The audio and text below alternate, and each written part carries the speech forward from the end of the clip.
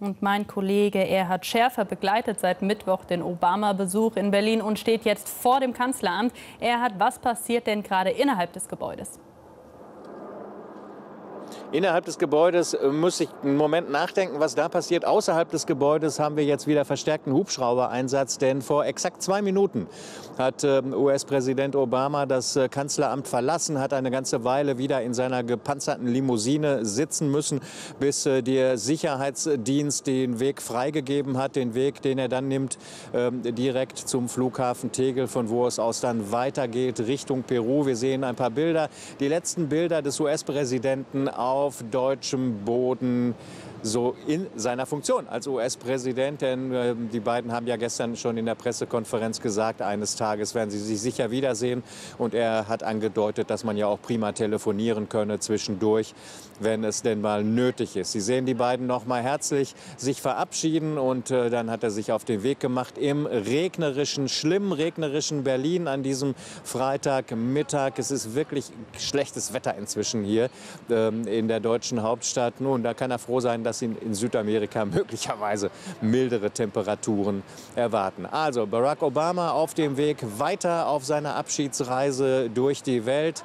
Und im Kanzleramt dürften auch die Gespräche zwischen den anderen inzwischen beendet sein. Soweit wir wissen, sollte es um 12.30 Uhr, also in diesen Minuten, ein Arbeitsessen geben, das äh, die Bundeskanzlerin einnimmt, gemeinsam mit äh, Spaniens Ministerpräsident Mariano Rajoy. Ähm, die Sechserrunde ist folglich schon seit geraumer Zeit Zeit zu Ende. Die übrigen vier, ähm, die übrigen drei ähm, europäischen Staats- und Regierungschefs werden in Kürze Berlin wieder verlassen. Und die Bundeskanzlerin hat dann um ungefähr 14.15 ähm, Uhr noch mal einen Termin, einen Pressetermin gemeinsam mit Theresa May, der Premierministerin von Großbritannien. Und im Anschluss daran wird man dann ein Gespräch führen, unter anderem zum Thema Brexit, aber auch wie denn das Prozedere sein soll zwischen den Europäern und den Briten ähm, ähm, bis dahin. Und ähm, ja, das ist augenblicklich der Stand der Dinge hier. Pläne des Tages. Wie haben Sie denn die letzten Tage erlebt? Gibt es in Berlin immer noch so einen ja, Obama-Hype wie zu Beginn seiner Amtszeit oder ist da inzwischen auch ein wenig Ernüchterung eingetreten?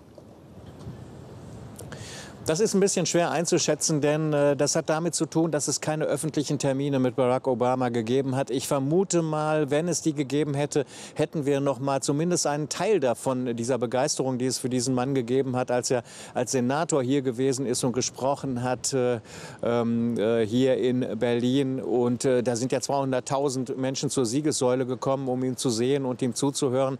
Ähm, diese Möglichkeiten hat es diesmal nicht gegeben. Wir haben 2013 erlebt, als er vor dem Brandenburg Brandenburger Tor gesprochen hat. Da waren zwar nur erlesene Gäste, ausgesuchte Gäste ähm, anwesend, aber auch da war die Begeisterung und das Interesse groß an seinem Besuch. Ich vermute, dass das hier auch noch mal stark gewesen wäre, wenn er tatsächlich öffentliche Auftritte gehabt hätte. Aber so hat er sich zumindest, was erkennbar war oder für uns sichtbar war, ja hauptsächlich bewegt zwischen dem Hotel Adlon am Brandenburger Tor und dem Kanzleramt. Das ist ja kein Kilometer Entfernung zwischen diesen beiden Plätzen und entsprechend war die Sicherheitszone Zone auch hier in diesem Bereich und äh, Bürgerinnen und Bürger konnten hier nicht wirklich vordringen. Es gab äh, gestern mal kurz, als er hier angekommen ist, zu seinem offiziellen Besuch im Kanzleramt einige Schaulustige, die, sich, die es relativ weit geschafft haben, hier an die Absperrung ganz in der Nähe vom Paul-Löbe-Haus und die dann auch applaudiert haben, als äh, die gepanzerte Limousine vorbeigefahren ist. Aber wie gesagt, ich nehme an, Hätte es die Gelegenheit gegeben, ihm zuzujubeln, hätten ihm sicher ganz viele Berliner zugejubelt. Denn eines bleibt ja unabhängig von seiner jetzt auslaufenden Amtszeit. Er ist ein Politiker mit Charisma, auch wenn er vieles nicht erreicht hat in seiner Amtszeit, was er eigentlich erreichen wollte. Wie leicht ist Ihnen die letzten Tage das Arbeiten gefallen? Also sind Sie gut von Ort zu Ort gekommen? Sie haben gerade schon die massiven Sicherheitsvorkehrungen angesprochen, seitdem der US-Präsident in der Stadt ist. Sagen wir mal so, mit Ausnahme des Wetters war das eigentlich gar nicht so schlimm. Ähm, wir haben ja hier den Zugang vor allem zu diesem Platz, an dem wir stehen, der einiges entfernt ist vom Kanzleramt, wie Sie sehen. Wir stehen also hier direkt vor dem Paul-Löbe-Haus, das zum Bundestag, äh, zu den Bundestagsgebäuden gehört. Und hier gab es lediglich eine einzige Sicherheitskontrolle, wo man den Sonderausweis vorzeigen musste, den man für diesen Staatsbesuch oder für diese Zeiten des Staatsbesuchs braucht. Da wir die Schaltgespräche nicht aus dem Bundeskanzleramt führen konnten, haben haben wir uns, sind wir auch die, diese, mussten wir diese Sicherheitsvorkehrungen dann auch nicht mitmachen. Die werden aber auch relativ im normalen Rahmen sich bewegt haben.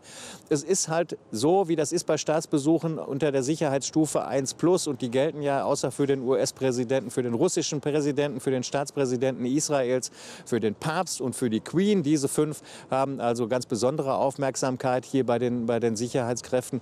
Da werden halt hin und wieder bestimmte U-Bahn-Teilstrecken gesperrt. Hier die U55, die zwischen ähm, Brandenburger Tor und dem Hauptbahnhof verkehrt, die ist seit Mittwoch eingestellt, wird heute Nachmittag möglicherweise wieder fahren. Dann hat eine S-Bahn oder die S-Bahn-Linien, die das Brandenburger Tor oder unterm Brandenburger Tor halten, haben, sind hier durchgefahren aus äh, Sicherheitsgründen. Die äh, Station war gesperrt die ganze Zeit. Also extrem extremer Sperrbezirk und extrem abgeriegelt das Gebiet eben zwischen Brandenburger Tor und Kanzleramt. Und dann müssen sich jetzt natürlich einige Autofahrer hier in Berlin in dieser Minuten, exakt in diesen Minuten wieder auf Absperrungen einstellen, wenn, die, wenn der Tross des US-Präsidenten sich auf den Weg zum äh, militärischen Teil des Flughafens Tegels macht.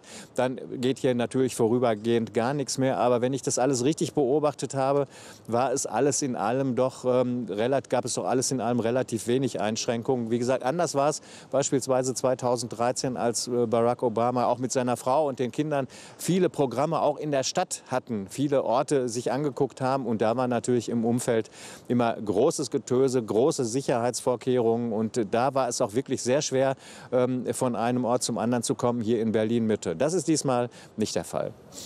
Vielen Dank, Erhard Schärfer nach Berlin. Und